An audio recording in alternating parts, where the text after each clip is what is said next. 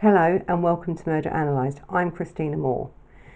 Now, today's case is the Moors murders case. So, these crimes took place between 1963 and 1965, but this case continues on right up until 2017, really. And as we go through this case, you will see why. Okay, so um, this case is a disturbing case, so really, there is some content in this video that some people may find upsetting. So, a little bit of a warning there before we start. So, the Moors murderers are based on um, two serial killers. Okay, they're children, uh, serial children killers, and um, their um, ranges range. The kids range from the age of 10 to 16, 17, so young adults. Okay, as well. Gruesome murders, horrific murders, especially at this time. Okay, so the, the reason I'm going to do this video in three parts, okay, so part one, part two, part three, is because this case is one, the content is so large, but also the content is so important because if you're going to tell the story or the case of the Moors murderers, I think you have to do it justice, okay, and make sure that you cover every aspect of it. Because to, for you to gauge the true um, personality of these two killers. Okay, and so these killers are Myra Hindley and Ian Brady. So I think before we start, I think grab yourself a coffee and let's have a chat about murder. Okay? Okay, so we're going to start right at the beginning. And I think we're going to start with Ian Brady. So, um, Ian Brady was born in Glasgow, uh, Scotland um, in uh, January 1938. So he was um, born to a woman who was unmarried at the time. So again, in a lot of these cases, when we look back, um, in 1938 in Scotland or anywhere in England, you know, it, it, it wasn't acceptable really. It wasn't. It was frowned upon to have a child out of wedlock. Plus, what what was happening in them days is that today people have benefits and they have universal credits and they have income support and all this sort of stuff to help them. Well, in 1938, there was none of that. If you wanted this money, you literally had to go and, and beg for it. So this woman had to work, okay? His mother had to work. So Ian was born um, Ian Duncan Stewart, okay? That's his name at birth. Um, and his mother was Margaret. They they called her Peggy, and uh, shortened for Margaret. And but she was a tea room waitress. Okay, so she didn't have a lot of income. She then got pregnant. She couldn't have give up her income. She would have still had to work because there was no father around. Now there was things saying that his father was, um, you know, died before he was born, but no one really knows. Okay, and you know, a lot of people made up stories then about what happens to the fathers, but it's actually um, thought that it was a one night stand and and she just became pregnant. So she, because she had no money and she had to work because she was a worker, and then she's had this child. What she's done then is advertised, you know, locally for someone to take on this child. Not that she wanted to give him away, because that wasn't her intention. But she couldn't afford to keep him, and this happened so much in them days. You wouldn't believe it. About you know, uh, there was so much poverty around, and and you just couldn't get any help as a single person. So she's advertised for him to be um, for someone to look after him, bring him up as their own, and she would pay them so much per week to help with that upkeep. So then a family, a local family, came forward um, and said that they would take him. Now, these weren't a rich family, these were a working class family as well. They had four children of their own. I think they felt sorry for her and they did take on then Ian as, of, as their own and looked after him and um, he took on their name then of Ian Sloan. Okay, so he became part of that family. But she then, the mother, Peggy continued to visit him weekly, and this went on for quite a few years. But as Peggy then became um, more independent she met somebody else and she met a man called um, Patrick Brady. All right, he was an Irish man, um, flower market man, and they moved from Scotland then to Manchester. Now that was then leaving Ian in um, Scotland with the Sloans, who again were very, very good people, and he even says himself they sort of looked after him. But he also says about them that they had four children of their own, and he felt like an outsider. Okay, because when the mother was visiting him, he actually didn't know it was his mother Peggy that was visiting. He just thought it was a friend who used to bring in gifts, and she was a very nice person. It wasn't until much later on that he found out that Peggy was his actual mother. Now, again, this happened a lot in that time where you'd have people brought up not through adoption or anything else, but through choice, you know, of, of the two mutual um, families to bring up these kids. So either the nan would bring them up, the, you know, someone else then would bring them up as their own. So this wasn't an abnormal thing in them days. It was it was actually quite normal. So um, rather than giving him into care, that was the, the next best thing to do. So now Peggy and Patrick are in Manchester, and the Sloans and Ian are still in Scotland. Okay, so as he becomes about 13, 12, 13, he gets into an academy because he was a quite a bright child, um, a little bit above average, and it is said a lot about serial killers that you know, or the myth is that they're above average intelligence, this, that, and the other. Well, they're not really, you know. Um, a lot of serial, uh, some serial killers are, uh, and, and some serial killers have got very low in, in intelligence.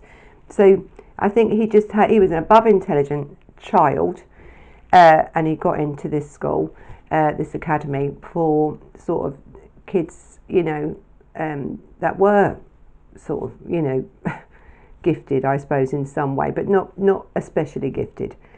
But he even says himself that he um, loved to steal. He just had this compulsion. And so, really, um, you know, when he left this academy at 16 and then he took a, menial jobs, really, he began as a butcher's messenger boy and, and that sort of thing. And um, he sort of was already at that age in juvenile court. Now, you know, we look now when we, we think when we have kids that got everything and they sort of take this path um, in them days, there was a lot of poverty, so it could have been even that. He was drawn, he needed money, he didn't want to really earn it, he was earning little bits of money, and he, he, he sort of um, was in juvenile court for quite a lot, you know, for housebreaking, right? So it's not just a little bit of theft, this is housebreaking. So you're breaking in at 15 to someone's home. Now, there's a lot of risk involved, you know, with um, with that. So it's a quite a young age to start actually breaking into people's home. It's a lot different than stealing from a shop or, or just stealing something.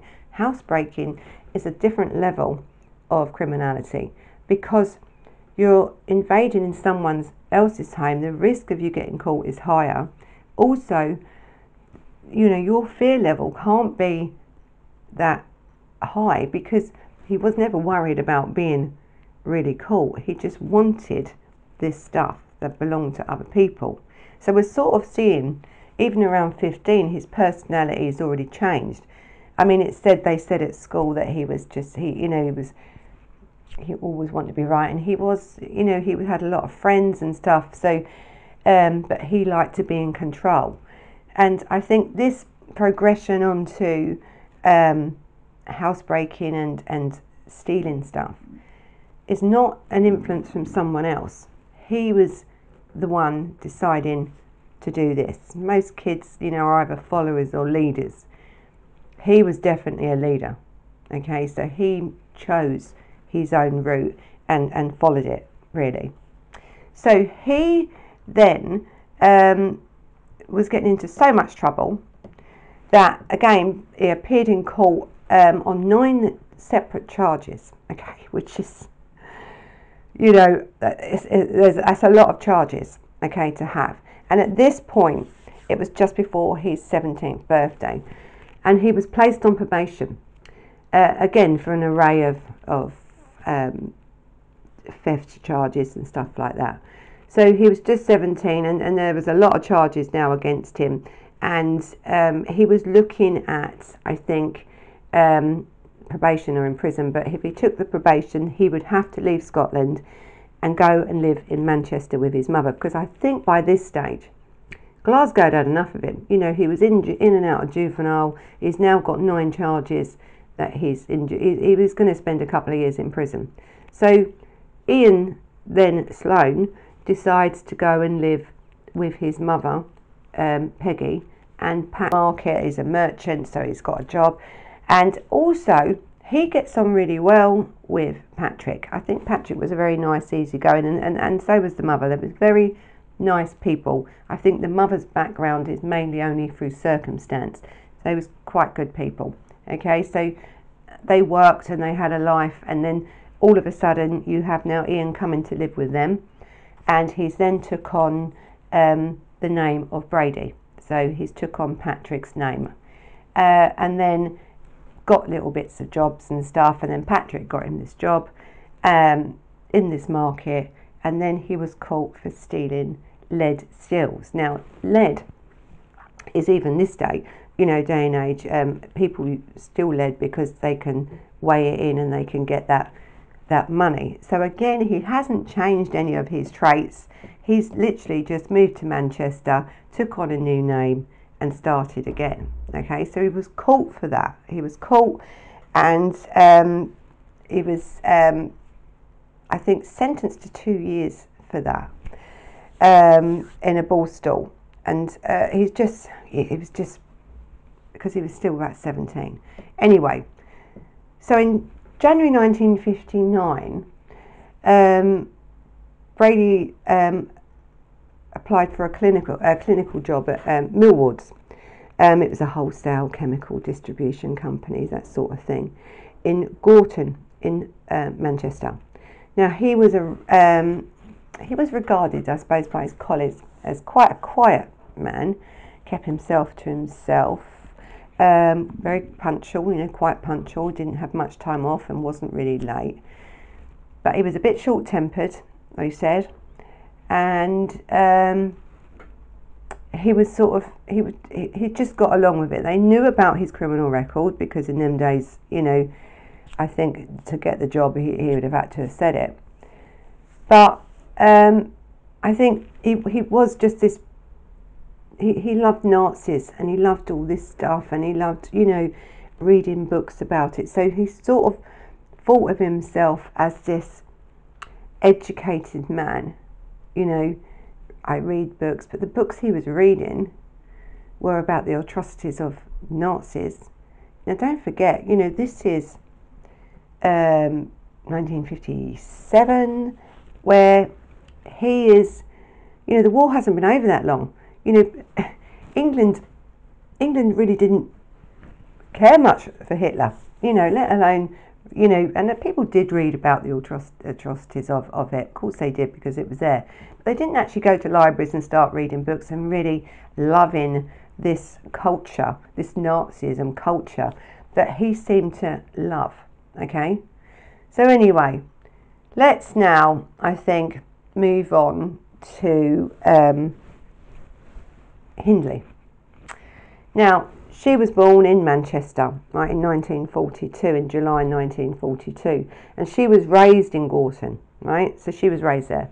Her parents were Natalie and Bob, and um, they, again, in this area of Manchester, a poor area, working class area, but listen, in 1942, most working class areas were classed as poor areas. You know, people were struggling to meet ends uh, ends meet, and and so Natalie and Bob um, had got a little room and, and stuff, and and um, and I think Bob was actually um, an ex army man, so he had fought in the war and he was in the parachute regiment and stuff, and he was known actually in the army as quite a hard man. All right, and I think when he came back from the army, he came back, as a lot of soldiers did in them days, you know, struggling to get into normal, normal life again. You've been in this army, you've seen things in this army that would have changed you. And also, his personality was this strong man, you know, quite aggressive in some ways. And I think that coming from this war and that experience of the war made him even more so. So by the time he gets home, um, they had Myra already, but by the time he then gets home, so she didn't have, I suppose, a father figure early on because he was at war. But then in them days, a lot of people didn't have a father figure around and there was at war. But the community, I think, even in this poor areas of England when this war was going on, the communities were very good. So um, I think with uh, I think her name's Nellie actually. It's Nellie and Bob. So Nellie, the mother, um, had um, and her mother really helped and brought up um, Myra Hindley because he was away, and Myra and um, uh, Nellie, the mother, lived with the grandmother while the father was away at war. Okay, so when he then came back from war it was then time to move on and get your own property.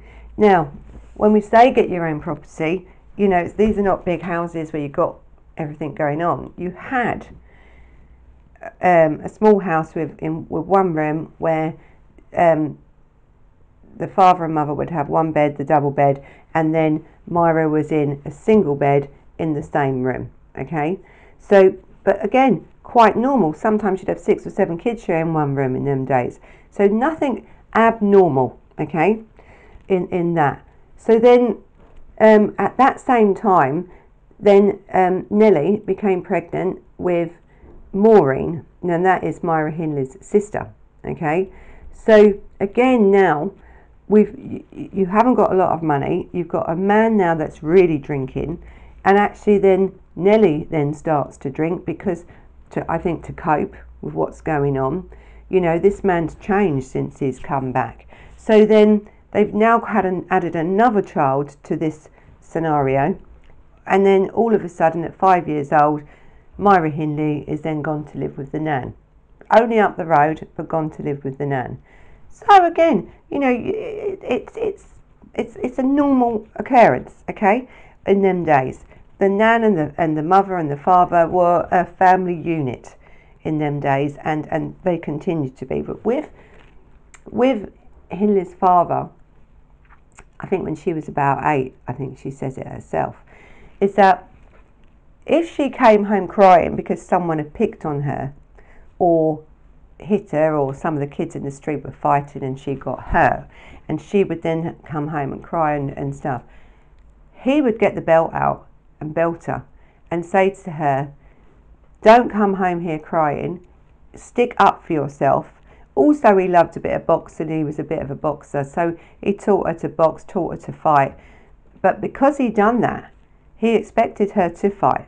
Okay, she had to stick up for herself. Actually, both girls did have to stick up for themselves. So you couldn't, you know, if your kids come home today and they've fallen over or the boy up the road pushed them or whatever, you know, it's a strange thing to be rewarded in saying, well, you go and beat them up. And then, I mean, that's the proudest he's ever been of this, this Myra Hindley, or so she says. So this is her story of what she's saying about her childhood.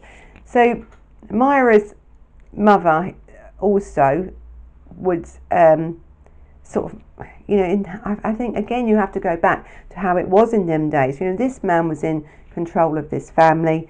This was his way. He was also a drinker was quite violent in this family, and uh, often that she, Myra, would then have to take Maureen, the baby, two year old, out to the to the nans to get her away from the violence that was going on in this house. So you do have this going on, okay? But then uh, there's conflicting stories about Myra Hindley, what she says about her mother, because she also says that her mother was also beating her and as well as the father. But then on other occasions, she would say, Oh no, my mother never touched me. So there's, there is some conflicting stories about that. Okay, so I think at eight years old, um, when she went back out and hit this boy, and the father praised her for doing it and stuff, she writes later on that, you know, when she was eight year old, that was her first victory, right? So this is what's going on in this child's mind. But it's also in her as an adult because she wrote this as an adult. My first victory, victory at eight. So, you know, when you're looking at the psychology and what happens to a child, right? Yes, this would have affected her child, but also to call it a victory because the father praised her, she then took on that, that this was the right thing to do. You know, this was right. And, and you know, uh, no one should be beaten, but there is other ways that you can deal with um, someone picking on your child and stuff. It's not really a, a good way.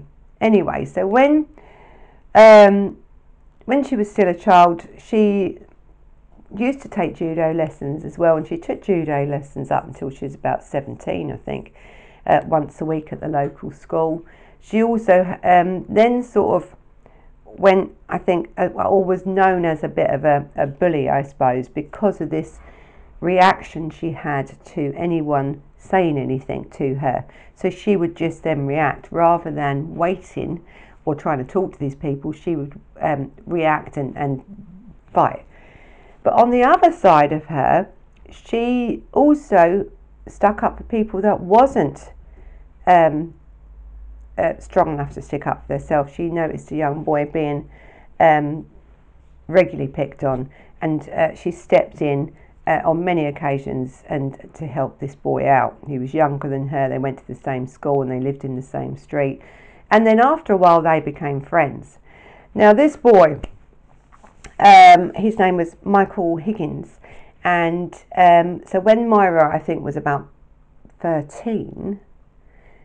Um, she was friends with, with, with Higgins and they used to go off swimming and, and, and, and stuff like that.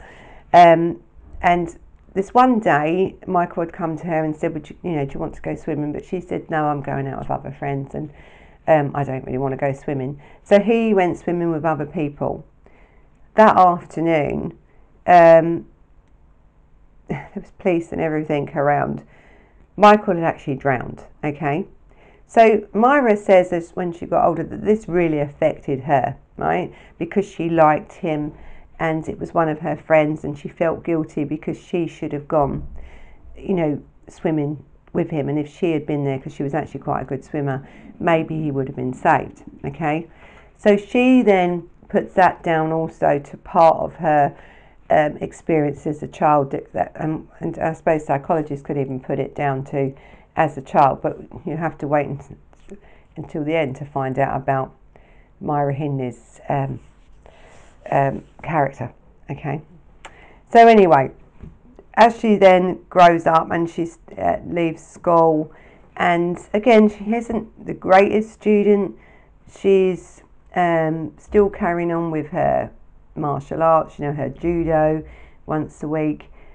She's quite a plain girl, you know, um, quite religious. I mean, she was um, she's Catholic, and she um, had a confirmation when she was, I think, thirteen. So she she was quite religious. Okay, so she was quite a plain girl in, in them days.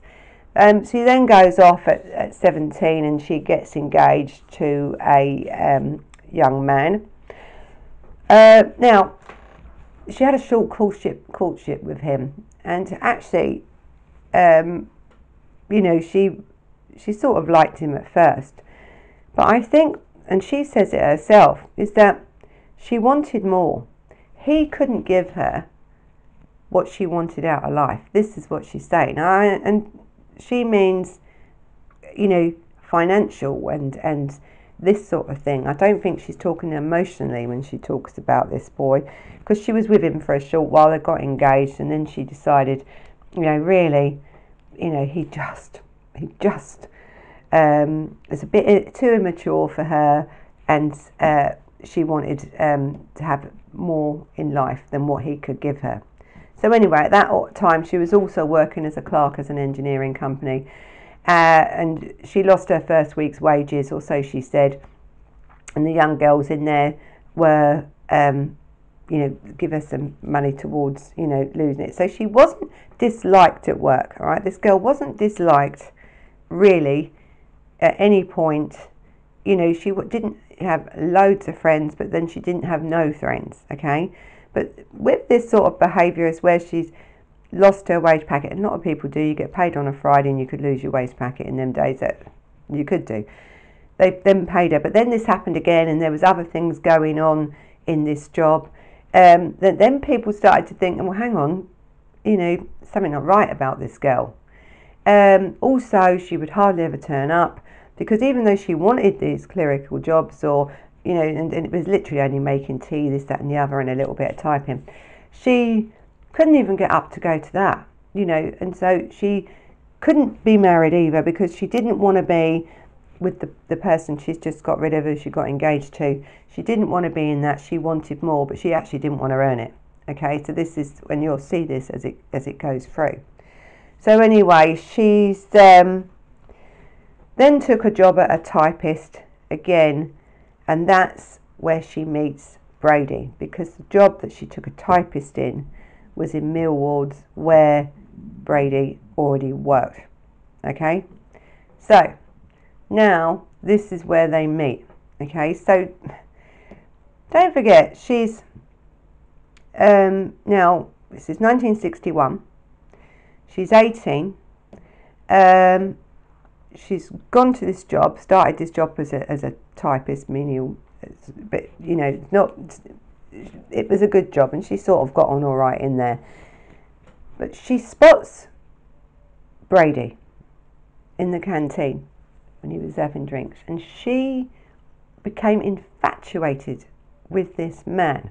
Right, this was the man that didn't really talk much. He certainly didn't talk to her didn't have much interest in her. You know, she's quite a plain girl. He was more interested in himself and his books, his Nazism, and that he was very self-absorbed. You know, is a narcissist. You know, that will show quite clearly. And so I don't think that he thought by ignoring Hindley, because he could must have seen the attention that she was trying to give him. Um, I, but he I don't I honestly don't believe that this man was interested in anybody, right? Because Hindley had had um, this boyfriend before and got rid of him because she didn't think he could give her what she needed in life. Then all of a sudden now she's met Brady, or she thinks she's met Brady because it's only a one-sided relationship here with with Brady. Um, Brady's more interested in everything else that's going around, but uh, the first time, so she started this job in January 1961, and it wasn't until the July, right, 27th of July, so the end of July, they actually spoke to her about anything. So that that was when they actually spoke to the girl. But by this time, she's been writing in her diary at home. If, if he looked to her, if he, you know, absolute this infatuation. So that also now tells us a little bit about her character to be this obsessed with someone who isn't giving you anything in response, okay? Literally nothing. So I think as time's gone on, she must have been over the moon on the 27th of July 1961 when this man spoke to her for the first time.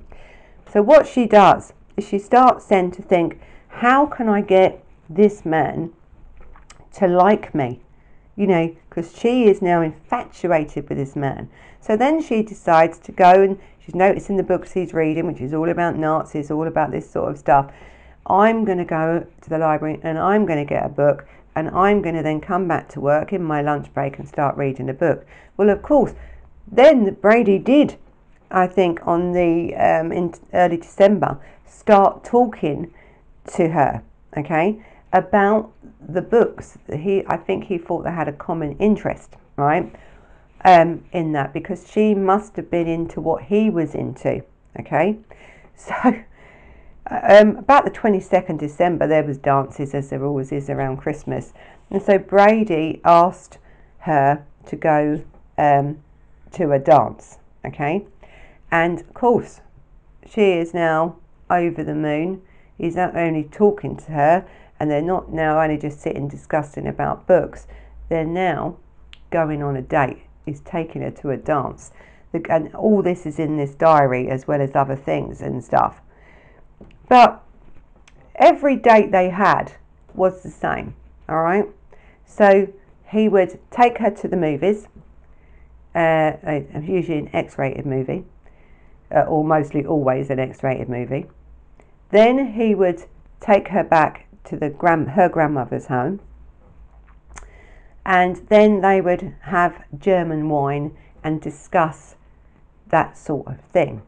Now, all of a sudden, right, um, Hindley starts then, her character starts to change. Her appearance starts to change. She's now dyed her hair peroxide blonde. She's wearing um, crimson lipstick, okay? Because what she's trying to do is not attract Brady in that way, because I don't think Brady really cared, to tell you the truth. It was about this German thing of blonde hair, blue eyes. She didn't have blue eyes actually, she had brown eyes. She couldn't do much about them in them days. But she wanted to look as much like this race, this German race, which Hitler really was going for, you know.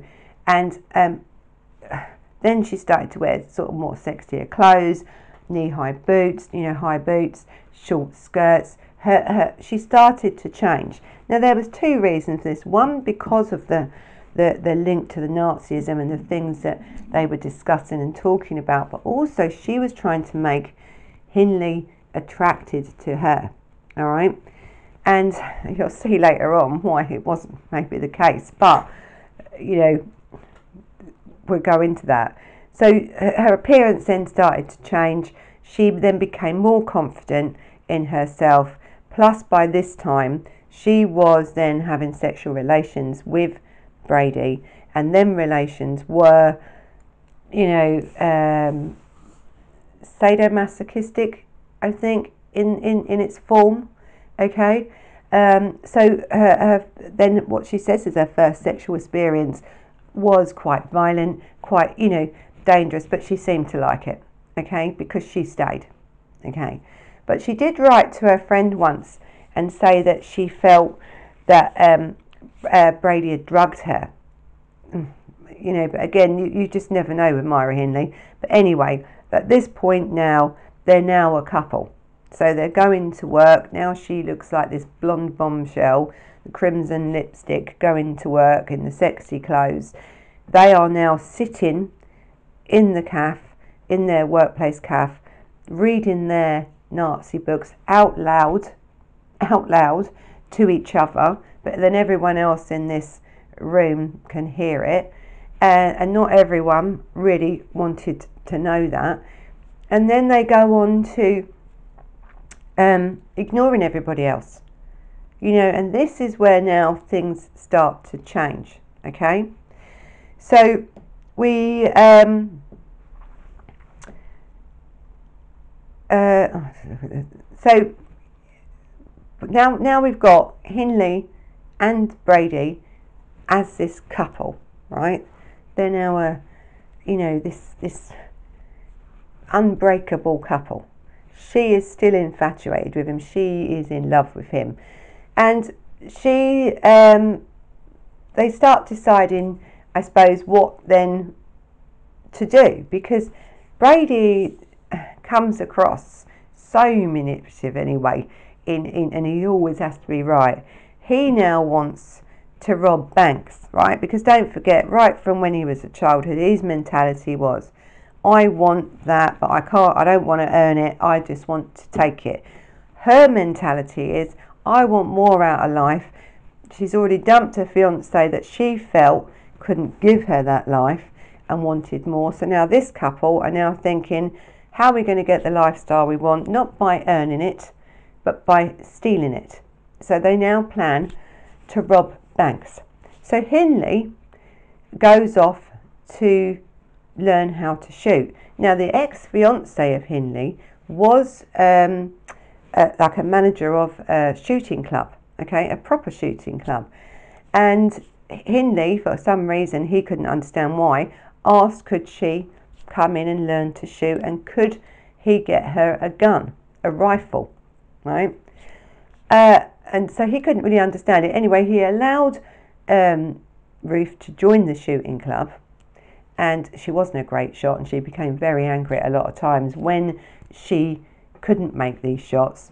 And um, she also asked him, could he get her this rifle, which he didn't get, but she did buy a 30, uh, 45 caliber pistol from um, someone else within this gun club, um, which I don't think he knew about, but she did buy that.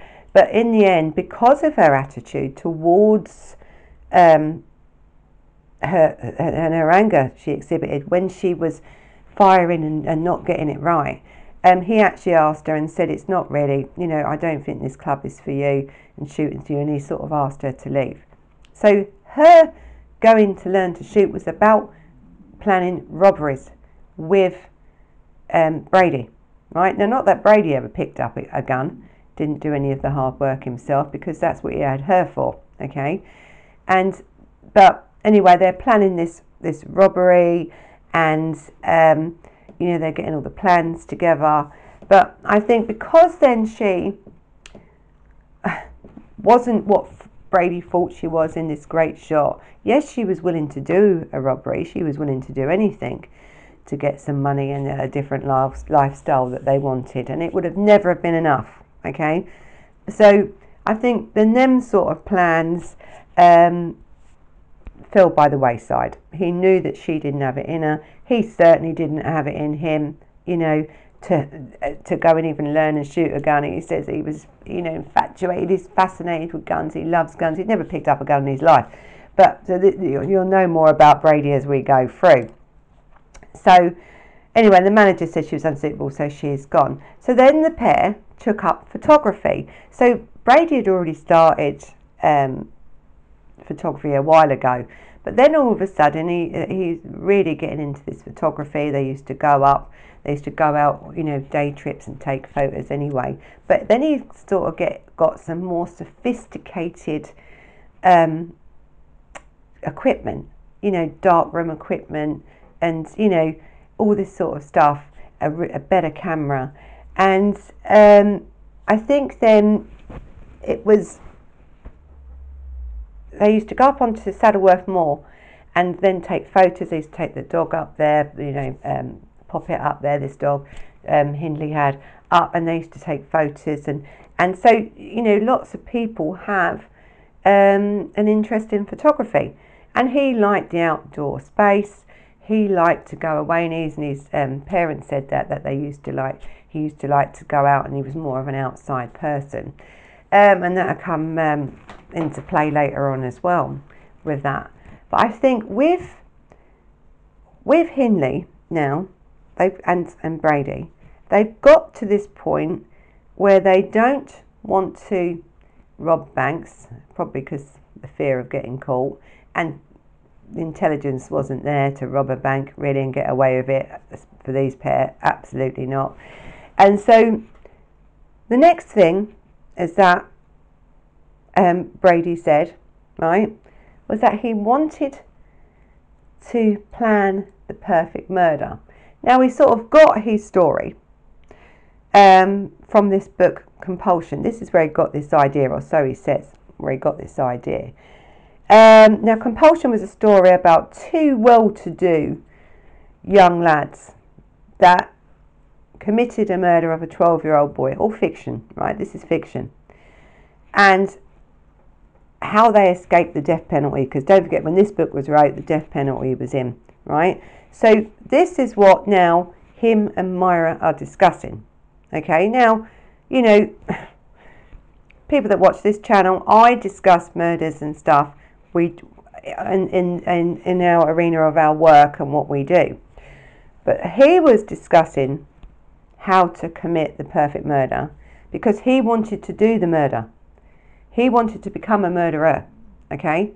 And she was so compliant with this she thought it was a great idea. You know, don't forget they can't do the bank robberies. Oh, let's go to now murder. So don't forget this book, Compulsion, talks about a 12 year old and um, being murdered. And also, it says in there because don't forget, it's all about how to plan this perfect murder. And I think in this compulsion book, one of them left their glasses there, and that's how it was found that then they was caught for this murder. Again, fiction. Okay, this was fiction. So then Brady then starts to really plan a murder. Okay, now they're in it together, what they can and can't do. He worked it out with every detail of what they can and can't do and what they need to do to not get caught for this murder. But then they're going to discuss okay, who are we going to murder? Who are we going to? What's going to be the people that we murder? They decide, or Brady decides, it's got to be children. You know, because he's quite a weak man, this man. He can't even pick up a gun. He knows that if he goes for an adult, an adult's going to fight. Absolutely. And this man is no way strong enough to do that. So he goes to the weakest thing he thinks that he can. And this, and in his perverted mind, uh, he's going to now go for children. So both him and uh, Hindley start them to um, drive around, you know. Oh, and actually, before I say about him driving around, Hindley, he made, again, Hindley drive. He used to drive a motorbike, but he needed Hindley to drive. You know, in his perfect plan, you know, this perfect murder, no one's going to suspect a woman, so you need to drive. So now he's, she's gone for her driving test. She failed actually three times uh, and passed on her fourth time. And so then she, they've she's hired this van. Um, again, why do you, why do we think a van? It's all in the planning of this murder, right? This is all of it. The driving. He's on the motorbike. The test. She needs a test. Let's hire the van. You know, all this planning leading up. Now, if they hadn't planned that lot, these murders probably would have started earlier. And don't forget, they haven't been together that long.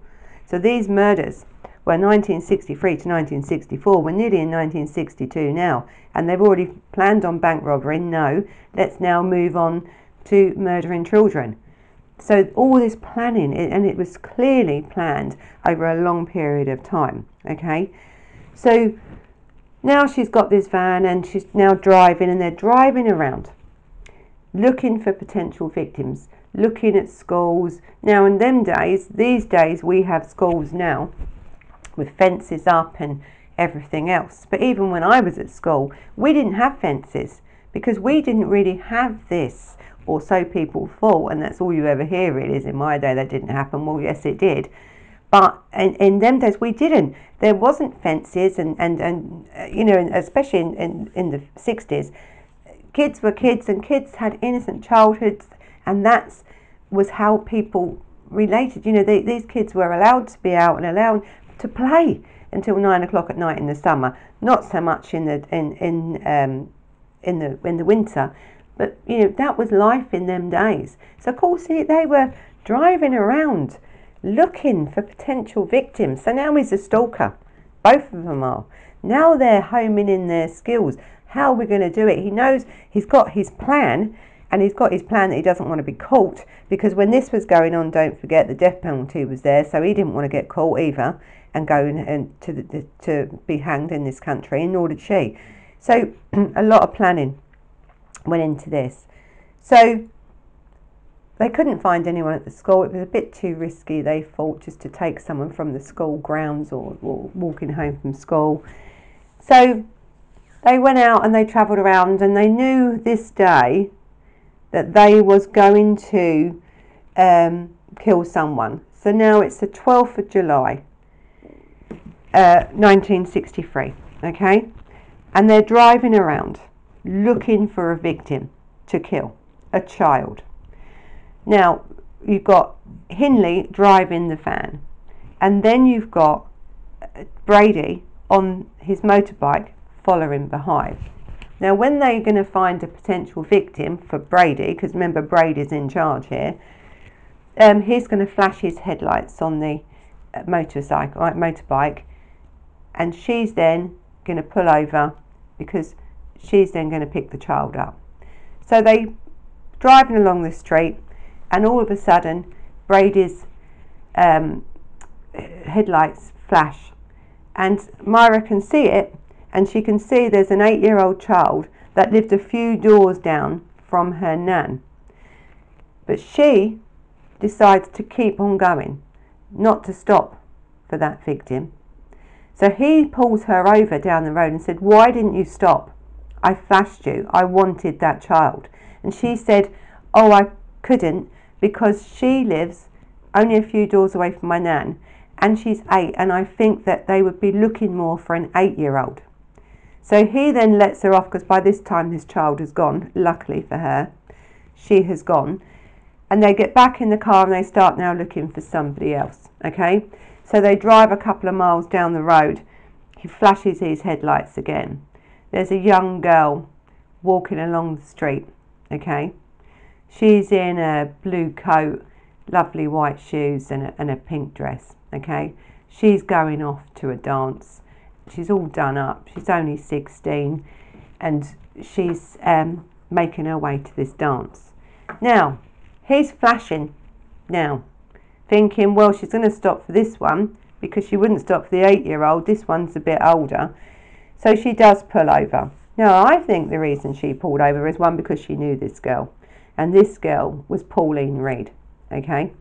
Now, this girl, Pauline Reade, this first victim of theirs, was friends with Maureen, um, uh, Hindley's sister.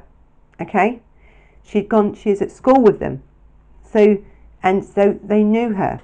So, and also she had recently just finished with a boy called David Smith. Now, David Smith will come in a little bit later on, but remember his name because he's important to this case.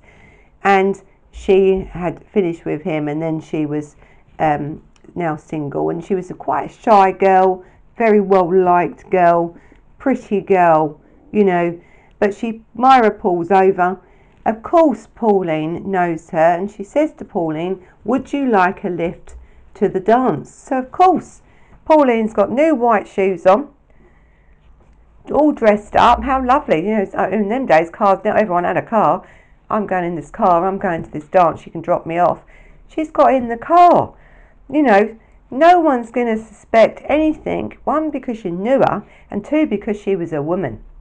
Now, we have in our mind, I think, before we carry on with this, about women don't kill or not serial killers. Yes, they do. Okay? But I think it's hard for us, when we talk to our kids about strangers, don't get in a car with strangers, don't, you know, these men, these men, these men. No, don't get in a car with women either. You know, this is the thing. People just seem to think that that's not, and we, you know, and I think in them days anyway, yes, they were told, you know, don't get in a car with strangers, There was things going on, there was other things going on, but don't get in a car. But Pauline wouldn't have fought any danger at all in getting in this car with Myra Hindley.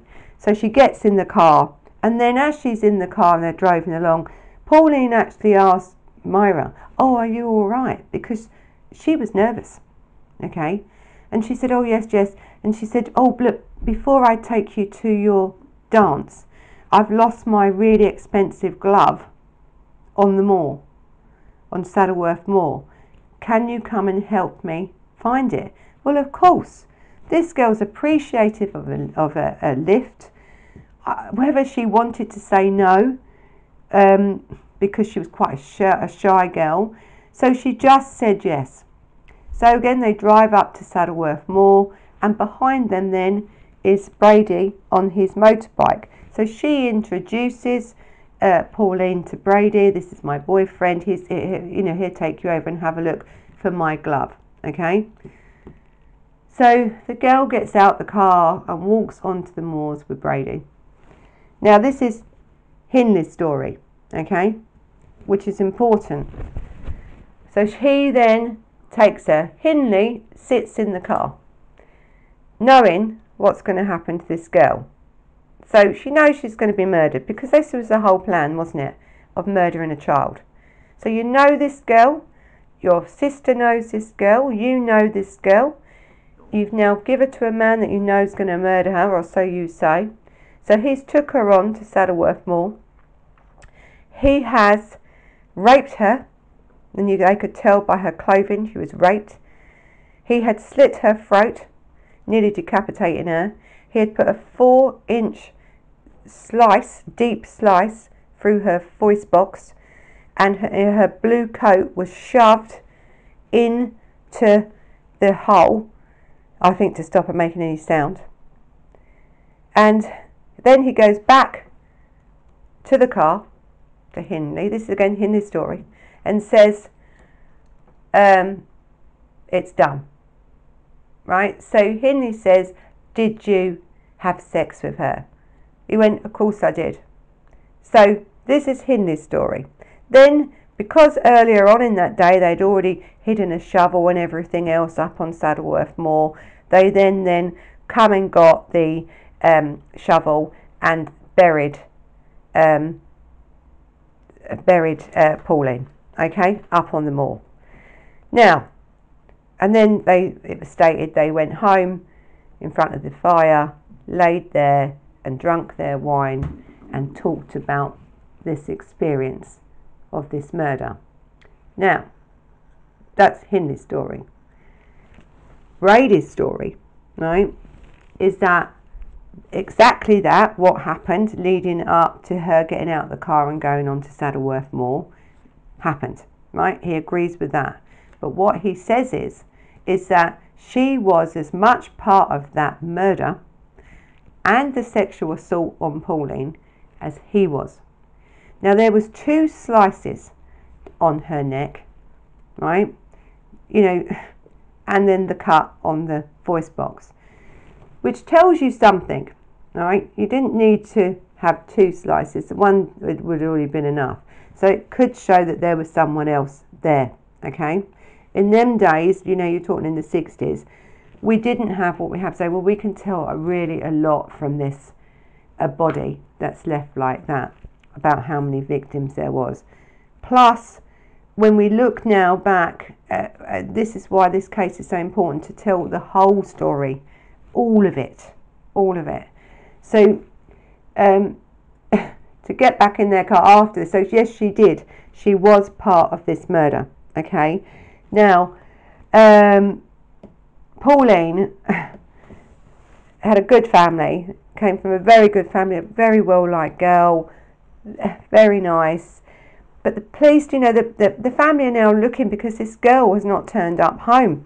You know, um, it's now getting late. The dance is finished. Her mum, Pauline's mother, goes to the dance to see if she can find um, anything with this girl. And they said, "Well, we don't know anyone that's coming in a pink dress, a pink coat, a, a blue coat. I don't think she's been here. Her friends hadn't seen her. No one's seen her. Okay, so there's no evidence. Again, we didn't have CCTV like we do today. There was no evidence of this girl and this disappearance. She literally just vanished, just vanished. And the boyfriend, um, her ex boyfriend, he was 15 at the time, um, David, um, David Smith, who again later becomes relevant in these cases, was questioned over her murder but was eliminated actually uh, quite quickly after. But again, now the police you know, are still looking for this girl. No one's heard anything. No one's found anything. The, public are out looking. Everyone's looking. No one can find her. So they've really got away with it, haven't they? Now the thing is, what you've got to think of with Brady when he was doing this murder and how how he relates back to this compulsion book was he even checked to make sure the buttons were on each other. They hadn't left anything. There was no evidence left around that, you know, could potentially put them in the frame for this murder.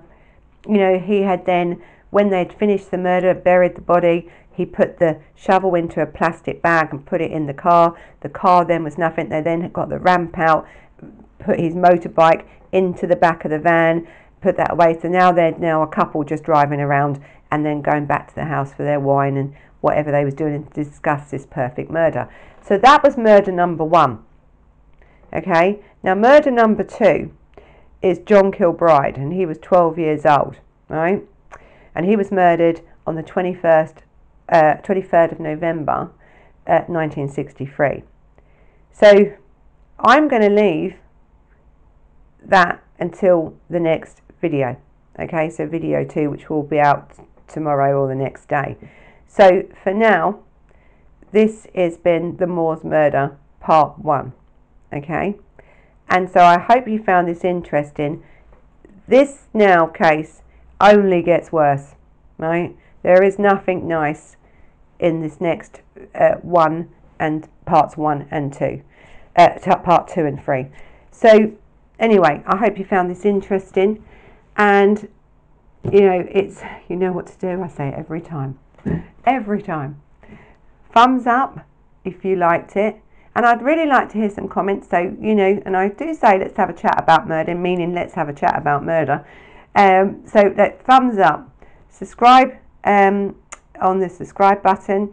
Um, also, I think with um, YouTube now, you have to, you know, open up your notifications to get notifications of the cases that are coming out.